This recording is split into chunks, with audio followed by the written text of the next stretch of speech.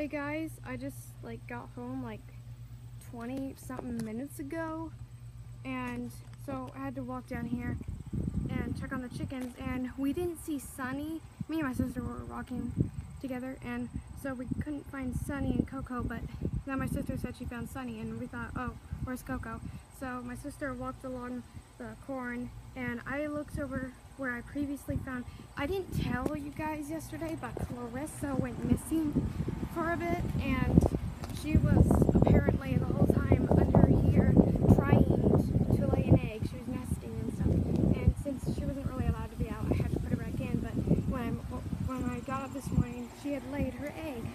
And so I was checking over here looking for Cocoa, wanting to find her. And then I walk by here and I see I see that. And I'm like, what? So I kind of thought it was Cocoa. So then I turn over and I see that it is Cocoa trying to lay an egg. So Cocoa's been here, I don't know how long, but I found her here when I got home. And she's really, really trying to lay an egg. It must be really hard for her to do since this will be her first time. And if she doesn't lay the egg, maybe within a, an hour, we're probably to have to put her back in because she can't be out here all the time.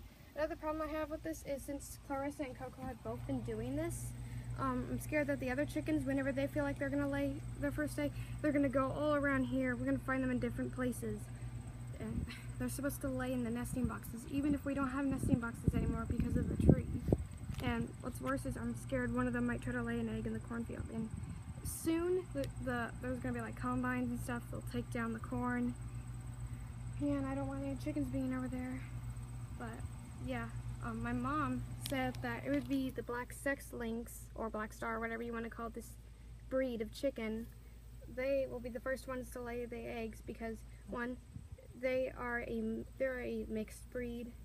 Um, they're a mix between a barred rock and a Rhode Island red, and those two chickens lay lots of eggs. So yeah, they're gonna be the first ones to lay an egg, and Clarissa's laid her first egg, and I'm glad it was her because, you know, Clarissa's my favorite. And hopefully Cocoa. Hi, baby. You're gonna lay your first egg? Hi. We love you. You're such a good baby.